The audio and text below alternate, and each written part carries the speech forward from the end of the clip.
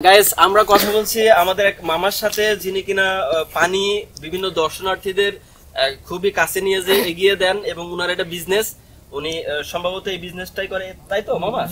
জি। আচ্ছা তো মামা আমরা আপনার সাথে দুটো কথা বলতে যাচ্ছি।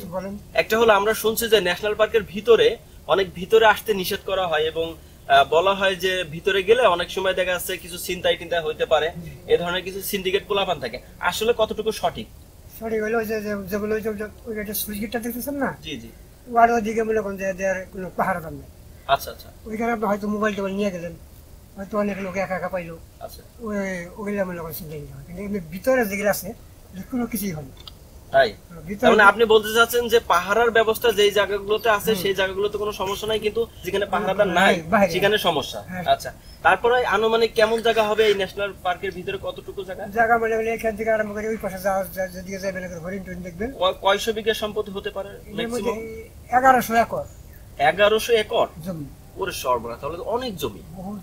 এটা তো সরকারি প্রতিষ্ঠান তাই না মামা? হ্যাঁ, এটা বন বিভাগের থেকে বন বিভাগের সরকারের আচ্ছা আচ্ছা আচ্ছা।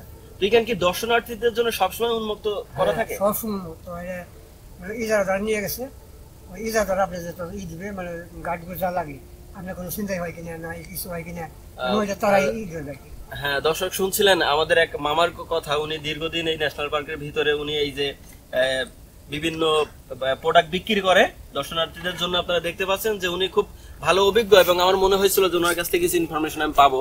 তো আশা করি যে তোমরাও বুঝতে পারছ যে ভালো কিছু ইনফরমেশন মামার কাছ থেকে পাওয়া গেছে।